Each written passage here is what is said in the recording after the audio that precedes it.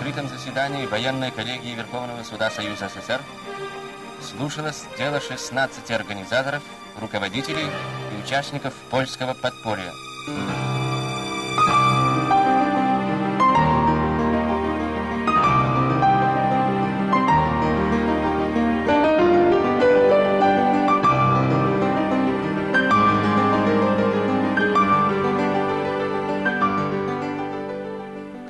Oni są?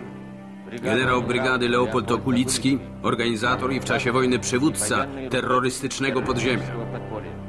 Niedźwiadek po powstaniu zorganizował nową komendę główną AK w Częstochowie.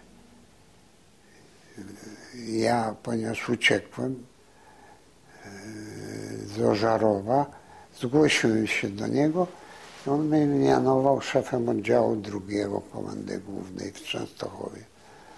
No ale to niedługo trwało, dlatego że wojska sowieckie szły naprzód i 19 stycznia, o ile się nie mylę, wydany był rozkaz przez Niedźwiadka, zresztą z moim uczestnictwem, z mojej pomocą redagowania o rozwiązaniu Armii Krajowej. Mieliśmy wyraźny rozkaz, ażeby nie prowadzić walki z y, Armią Czerwoną. I Armia Krajowa nigdy nie chciała y, prowadzić walk z Armią Czerwoną.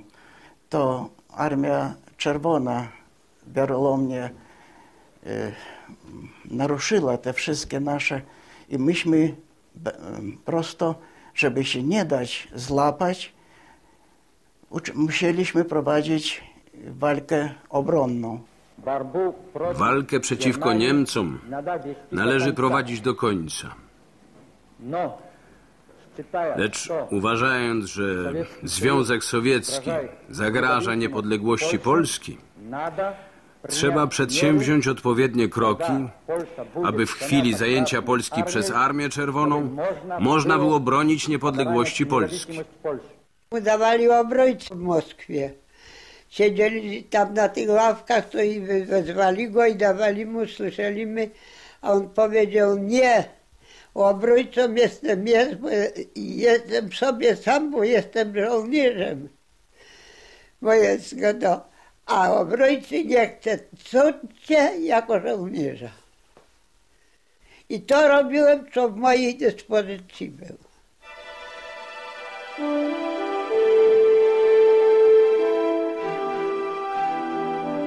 Ostatni dowódca Armii Krajowej urodził się 12 listopada 1898 roku we wsi Bratucice w powiecie bocheńskim, w wielodzietnej rodzinie chłopskiej, która przeniosła się następnie do pobliskich okolic. Najstarszy z siedmiorga rodzeństwa, Jan, został tam wójtem. Po ukończeniu szkoły powszechnej w Bratucicach Leopold kontynuował naukę w cesarsko-królewskim gimnazjum w Bochni. Wojna sprawiła, że do egzaminu dojrzałości mógł przystąpić dopiero w 1919 roku. Bracia byli wszyscy, czterech braci miałem, wszyscy byli wykształceni. Nie tak byli jak dzisiaj, po taki wielki, ale każdy miał swój zawód. Bo to unuczek z, z gimnazjum z Bochni, w szóstej klasie zdaje się był.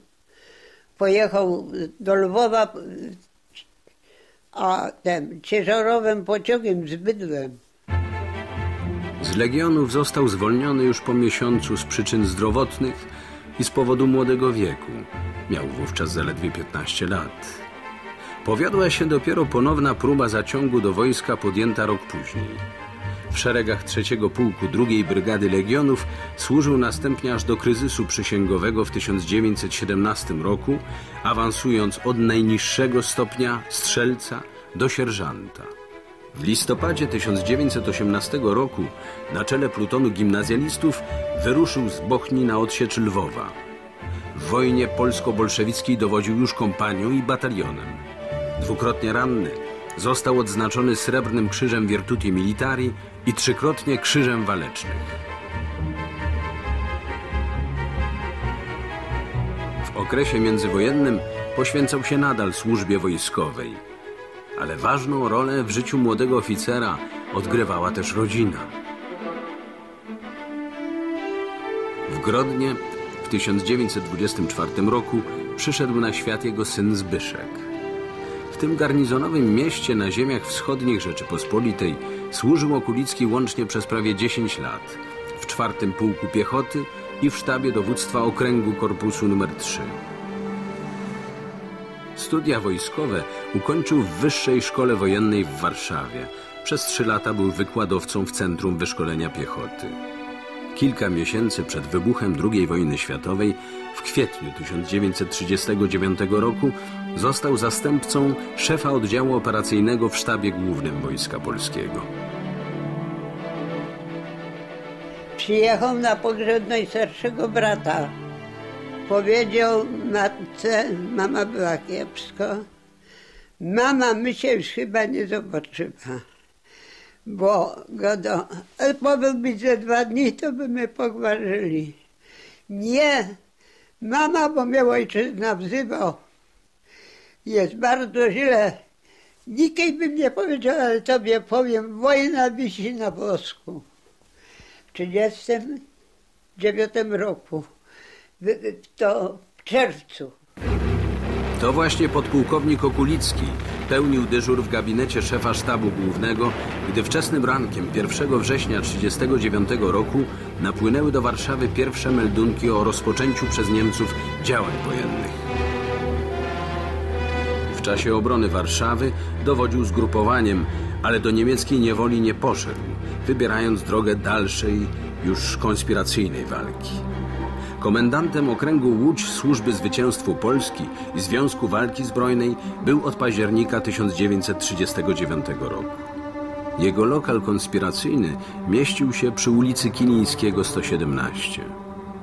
Przed aresztowaniem w urządzonym przez Niemców kotle uratował go podporucznik Pikuliński, biały. By go ostrzec, wyskoczył oknem z drugiego piętra, łamiąc przy tym kręgosłup.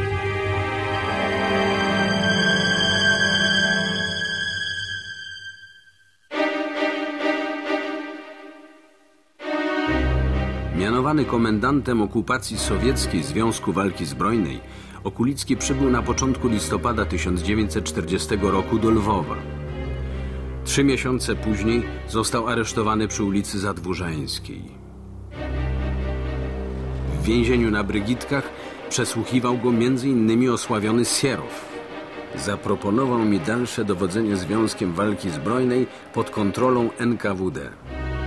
Oświadczyłem, że ja ich agentem nie będę. Przewieziono go następnie z Lwowa do Moskwy i osadzono początkowo na Łubiance, a następnie przeniesiono do więzienia Lefortowskiego. W pojedynczej celi spędził tam 153 dni.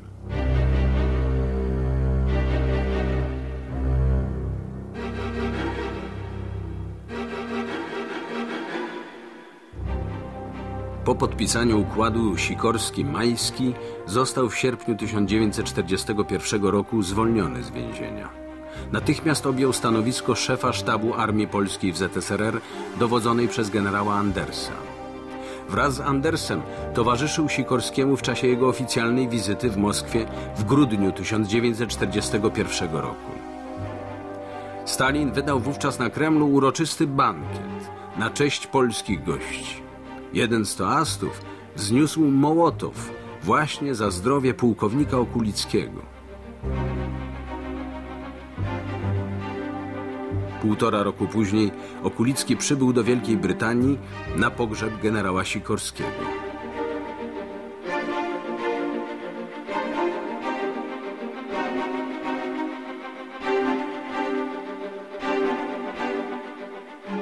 Został wówczas wraz z generałem Karaszewiczem Tokarzewskim zaproszony na rozmowę przez prezydenta Rzeczpospolitej Władysława Raczkiewicza. Okulicki, dowodzący siódmą dywizją piechoty na Bliskim Wschodzie, został odkomendorowany do Londynu we wrześniu 1943 roku. Zgłosił wówczas chęć powrotu do kraju, ale na skok musiał czekać aż 8 miesięcy.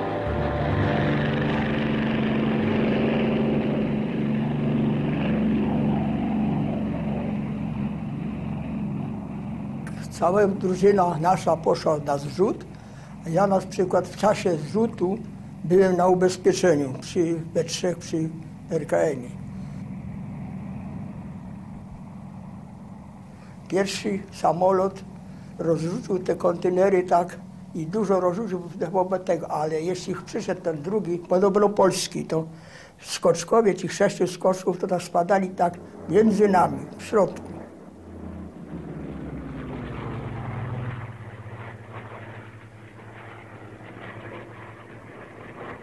Jak już zaczęły spadochrony lecieć z kontenerami i, i ze skoczkami, zostałem przywołany do komendanta właśnie Kruka, który powiedział do mnie, że mam wezwać, poszukać Fryderyka, pseudonimego Balacha i że razem obydwaj pójdziemy prowadzić najważniejszego jakby komendanta, tak zrozumiał on o tych wspólnych skoczków, że to jest jakiś wyższy ich człowiek, pułkownik.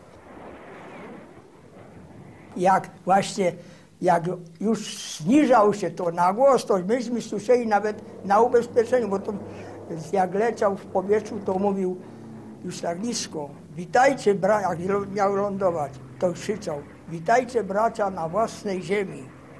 To, to słyszeliśmy. Został wtedy awansowany na generała brygady. Później objął stanowisko szefa operacji w Komendzie Głównej Armii Krajowej. Decyzję o wybuchu powstania uważał za konieczną. W drugim miesiącu walk po zranieniu generała Pełczyńskiego pełnił obowiązki szefa sztabu Komendy Głównej AK.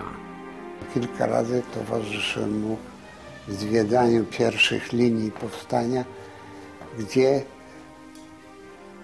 szliśmy po to, żeby odpocząć, bo w Komendzie Głównej były same złe wiadomości. Brak żywności, brak amunicji, brak interwencji zachodu, a na pierwszych liniach walki panowała radość, miłość i odwaga.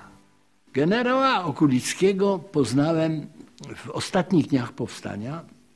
Ten pseudonim Niedźwiadek do niego pasował fantastycznie, bo był, jest, był krępy, taki e, raczej niski i miał trójkątną twarz, pokrytą śladami ospy szalenie niedźwiedziowato. I w ogóle robił na mnie wrażenie niedźwiedzia, bo ten battle dress, ten, ten jego kombinezon powstańczy był zrobiony przez jakiegoś tam krawca w straszny sposób. Także to w ogóle na nim wisiało. Później stykałem się z nim w Częstochowie. Żył w strasznych warunkach, bo wtedy po powstaniu to było bardzo ciężko. Był siennik na ziemi, poduszka wypchana słomą, jakiś tam kocyk, miednica na podłodze, dzbanek z wodą, kawałek mydła i to wszystko. I, I stół z krzesłem, z dwoma krzesłami. No trudno sobie wyobrazić bardziej prymitywne i nieogrzane, bardziej prymitywne warunki. On był całkowicie tak pochłonięty tym, co robił.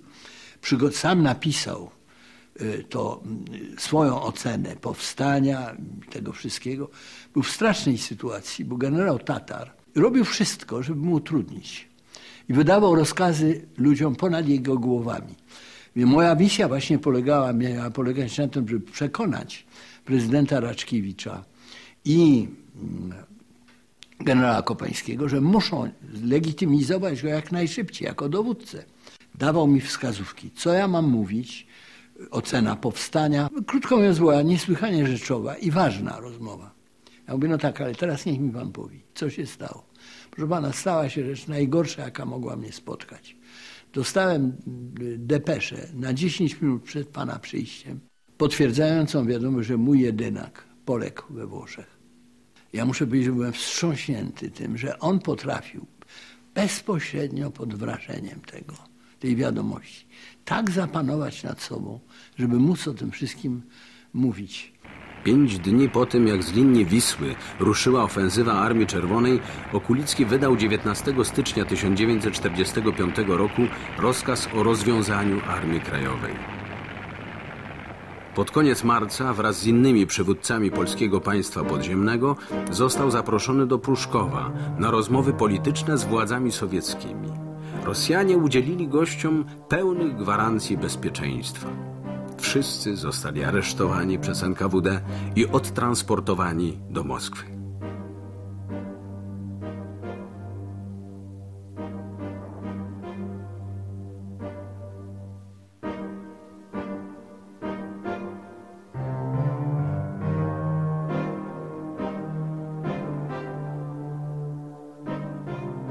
Miał, miał rozeznanie. Na przykład on był zdecydowanym przeciwnikiem pójścia na spotkanie z, tymi, z tym Sierowem yy, i wiedział, czym to się skończy. Ale uważał, że skoro delegat rządu powziął taką decyzję, to wiedząc, że to się skończy źle, nie można nie pójść. Yy, bardzo go jednak, wspominam go jako, jako jednak człowieka heroicznego.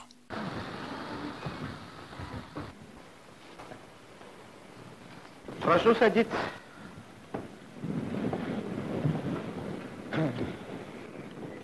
Od przyjazdu do Moskwy w maju 90 roku zająłem się intensywnie dwoma tematami.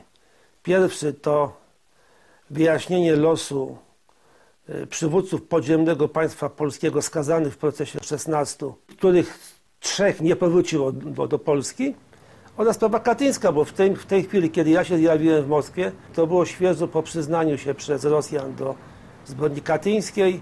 Dość szybko rozpoczęło się katyńskie śledztwo i rehabilitacja 16 przywódców Polski podziemnej.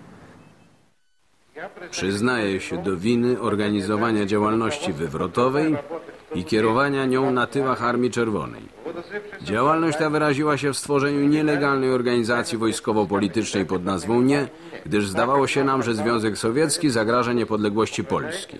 Zgadza się? Zgadza się. 17 czerwca 1945 roku do mojej celi wszedł pułkownik Potapow y, z sierżantem i przynieśli ubranie. Przymierzyli na mnie, ubranie było czarne, buty, koszule. Nie pamiętam dobrze, czy był krawat.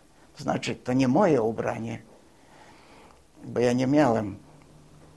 Na drugi dzień zostałem wezwany do śledczego, który mnie oznajmił, że jestem w więzieniu na Lubiance, że jako żołnierz Armii Krajowej będę zeznawał w, procesie generała Okulickiego. Ja chciałbym jako ostatni żyjący świadek, jako ostatni żyjący uczestnik procesu 16 powiedzieć o, o świadkach. Świadkowie to byli bardzo y, dzielni żołnierze. Nie oskarżali. Oni, oni prosto stanęli zmaltretowani, zgnębieni, żeby sami siebie oskarżać. Kiedy wprowadzono mnie na salę rozpraw, posadzono na ławę świadków, generała Leopolda Okulskiego zobaczyłem pierwszy raz w życiu. Chyba y, przewodniczący składu sędziowskiego zadał mnie pytanie, czy się przyznaję do y, winy. Skinąłem głową, że tak. W imieniu Związku Socjalistycznych Sowieckich Republik Kolegium Wojskowe Sądu Najwyższego skazało Okulickiego Leopolda, syna Błażeja, Jankowskiego Jana Stanisława, syna Józefa, Bienia Adama, syna Walentego i Jasiukowicza Stanisława, syna Ignacego na podstawie artykułu 58 paragraf 2 kodeksu karnego w związku z artykułem 51 tegoż kodeksu na pozbawienie wolności. Okulickiego na 10 lat, Jankowskiego na 8 lat, I Jasiukowicza na 5 lat każdego. Jak wiadomo, trzech z nich nie przeżyło więzień, Jankowski zmarł na dwa, na dwa tygodnie przed zakończeniem wyroku. Jas, Jasiukowicz i Okulicki zmarli. Daty były podawane raz takie, no raz takie, nie było wiadomo. Okoliczności były zupełnie no, nieznane. Rozpoczęło się śledztwo i ja byłem bardzo częstym gościem w prokuraturze generalnej, wojskowej prokuraturze generalnej jeszcze Związku Radzieckiego, bo to jeszcze było pierwszy za czasów Związku Radzieckiego. Zaprzyjaźniłem się, miałem bardzo dobre osobiste no, kontakty i na moją prośbę odszukane zostały teczki Jankowskiego i Okulickiego. Teczkę generała Okulickiego tak długo przekonywałem no, jednego z prokuratorów, aż zgodził się przywieźć ją na godzinę, dwie do ambasady. Myślę, że to była gdzieś początek 91 roku, może zima. Przywiózł tą, tą, tą teczkę, e, dwóch konsuli no, na zmianę częstowało go wódeczką, a na zapleczu, prawda, e, panie kserowały teczkę zawierającą 127 kart. Ja właśnie mam tutaj kserokopię. Liczno je dzieło zakluczenno, bo tu są personalia generała Okulickiego. E, z akt wynikało, że Okulicki jako żołnierz podejmował nawet w więzieniu walkę. Jedyną, jaka była no, możliwa, to znaczy głod, do głodówkę. Urządzał ją trzy razy i ostatnią gdzieś na początku grudnia, jeśli dobrze pamiętam, od 6 grudnia 1946 do roku. I potem w dokumentach jest przerwa. Następny dokument jest to informujący o, przywie, o przywiezieniu Okulickiego z więzienia na Łubiance do więzienia na Butyrkach 23 grudnia 1946 roku z bardzo silnymi bólami brzucha. Konsylium zwołane natychmiast po przyjeździe, a przywieziono go około godziny 18, e, poleciło operację, podejrzewają skręt kiszek, co zresztą się potwierdziło. Operację przeprowadził zespół lekarzy, operacja się udała, jak zapisano. Tym niemniej następnego dnia, około 9 rano, to jest Wigilię, nastąpiło gwałtowne załamanie i o godzinie 13.15 generał zmarł.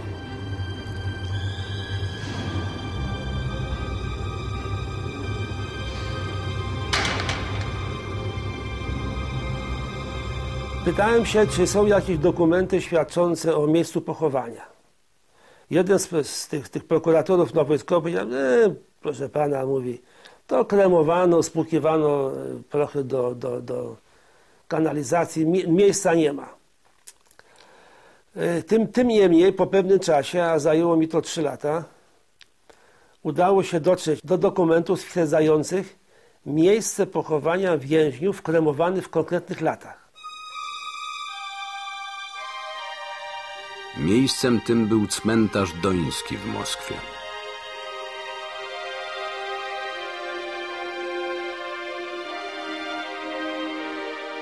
Z dokumentu wynikało, że nie tylko Okulicki tam jest pochowany, jest tam pochowany również wicepremier Stanisław Jasiukowicz, przedwojenny premier ludowiec węgierski Istvan Betlen i z całą pewnością, chociaż Szwedzi do dnia dzisiejszego nie zakończyli śledztwa również Ralf Wallenberg.